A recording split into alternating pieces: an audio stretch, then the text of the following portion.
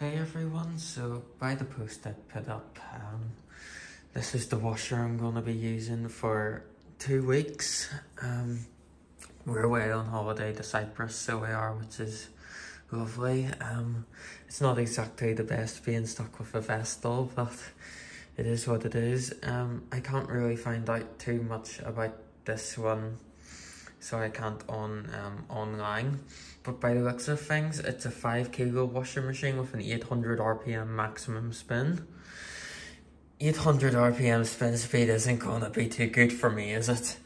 Um, cleanliness wise, it's mainly just built up washing stuff it's got on it. Um, you know, it's got a wee bit of residue on it. So it I think that's bit better. Um, it feels, uh, the door seal and stuff do feel quite stiff, so um, I do think like the um, drum itself is probably quite dirty. Um, can't really tell. Um,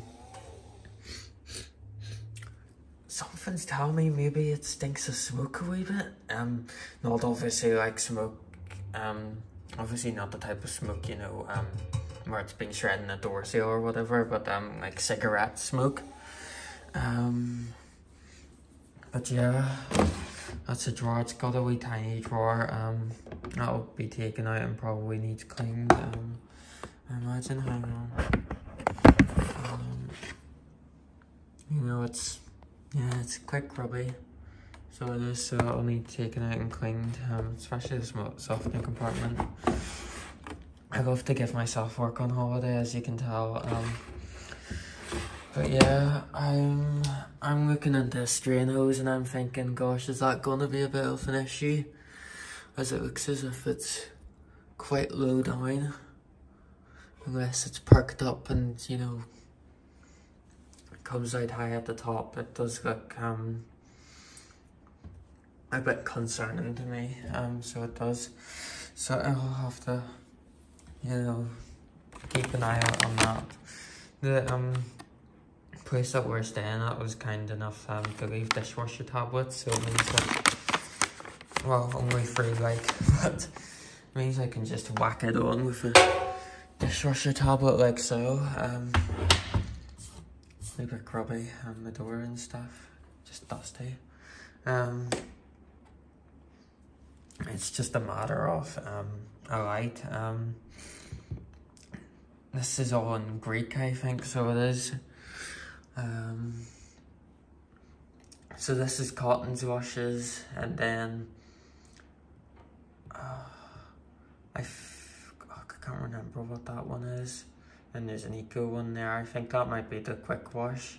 Then there's synthetics. Um, I think there's a mixed 30 and a sensitive or delicate 30. And then obviously that gives your spin, rinse and drain.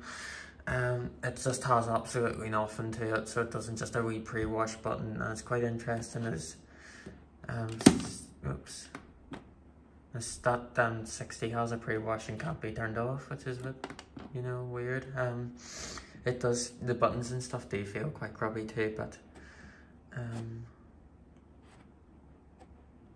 so we'll whack it on 90 and yeah, hope for the best. I think it's just your typical Vestel. Um, so that's Hyundai, and so's the dishwasher. But I think the dishwasher is Midea, um, judging by its sounds and stuff. It sounds like, I, I guess like a microwave, um, doesn't it? Oh no, it doesn't, but um, yeah, it's definitely Midea, so it is. You can just tell by the signs of it.